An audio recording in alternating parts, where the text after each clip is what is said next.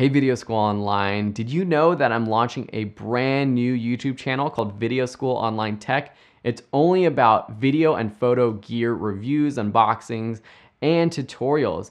This is a preview of that channel. I'm sharing a video of Will who is comparing the Movi M10 to the Movi M15. It's a professional steady cam system. Enjoy this video and if you do like it, please consider subscribing to that channel, Video School Online Tech.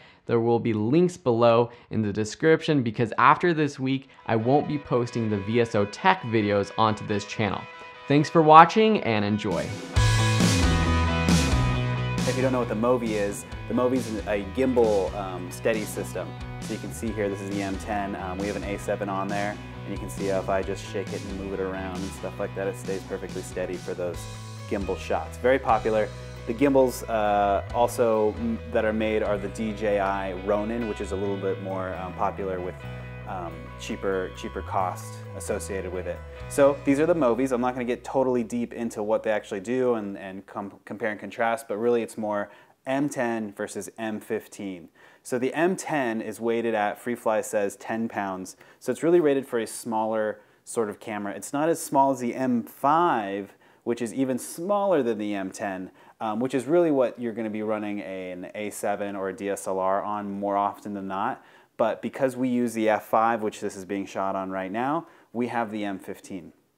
So really quick, on the M10 I have the A7, um, which is kind of our run and gun machine. This is a one-man band. Um, we really like the A7 on the M10, mostly because the autofocus on the um, 16 to 35 Sony E-mount lens um, is fantastic if you're just run one-man banding it. And you can see here, it's got kind of a smaller, a smaller berth than the M15. Um, the A7 fits on it perfectly. Um, it's really great for when I run a gun. We have a small, um, SmallHD 502 monitor up here running through HDMI. Um, and it's really light, carbon fiber uh, M10, uh, much lighter than the Ronin. Uh, the Ronin is heavy. Um, we have run uh, a red camera on here. We've run a C300, we've run a C100. Those are the bigger cameras that we can run on this rig. But really, it's, it's, it's fantastic for DSLR or for mirrorless. Um, you can hook up uh, a remote follow focus is a Bartech single channel digital. Um, you can see here, and then you can run it to a thumb wheel or have a first pulling focus. But really, it's, it's really nice to just have this running a gun. We've done a lots of sports stuff with Nike and uh, some other stuff, some internal work where we're just running and gunning. The M15 is a little bit bigger. You can see it already has a crossbar up here, which you can put on the M10 if you like. They're all customizable. It's still carbon fiber, um, but you can put a lot more accoutrement on it. The reason I don't have anything on here is because typically we don't put small cameras on here. We put the F5 on here, and it's really cool is that we run the power for the F5 from Movi FreeFly batteries themselves. And you can see on the M15 there's two cradles for uh, Movi batteries that you have here, whereas on the M10 there's only one cradle. Uh, which powers the Movi itself. So one can be powering the Movi, one can be powering the camera if you so desire. Otherwise, you can be using one to be powering a Teradek up here, which is for wireless video, um, and we would run our same monitor up here, one for the operator, one going to pull focus. So you can run the Teradek or you can run down to a follow focus, and we use, again, the Bartech here, would hook into a lens on the F5 or a RED or any really bigger camera uh, and get up to 15 pounds. Hey, hate to interrupt this video, but I hope you're enjoying it. If you are, stop right now, click on the link below to subscribe to Video School Online Tech. Thanks, and I'll let you get on with this video. Um, another way uh, that we would do with the follow focus would, right here we have the Redrock uh, thumb wheel, and this hooks into the receiver where you can pull focus yourself. Right here it's very easy, very quick. Sometimes we put that on here more often than not because this is more of a one-man band thing. Um, the M15 is set up for that right now. So really you can see the difference in the M10 and the M15. The M15 is really meant for a bigger camera, more stuff, more wireless, more of that. It also comes with this cradle right here that sits on a stand versus a run and gun kind of little tiny cradle. The clearance level for this is just a little too low for the stand that they currently make. Um, I think they're probably coming out with a new one actually um, for the M15.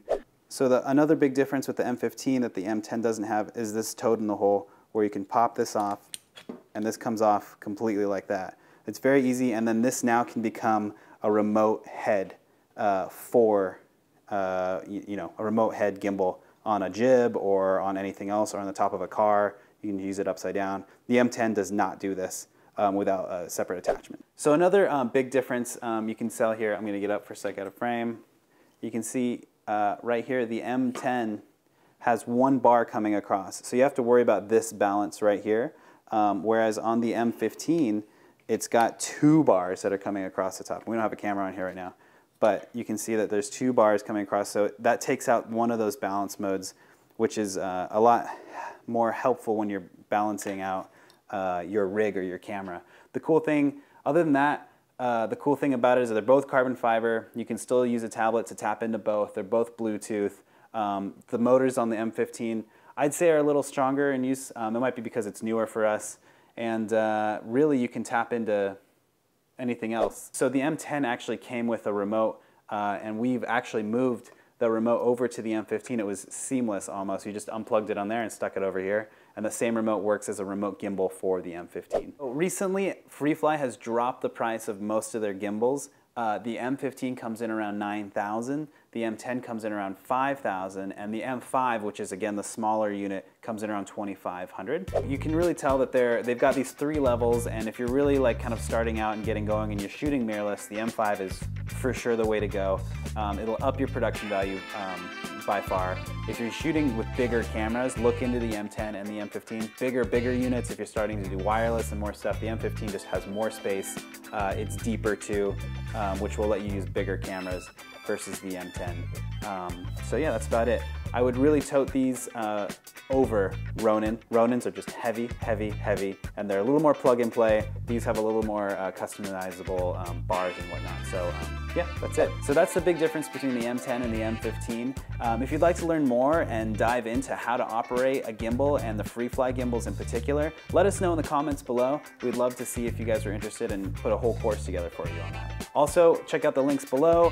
Um, we work with Video School Online for tons of classes and content. Just check out videoschoolonline.com where we have a big master cinematography class along with a bunch of other photography and, and other videography um, courses. So check us out online and thanks for watching.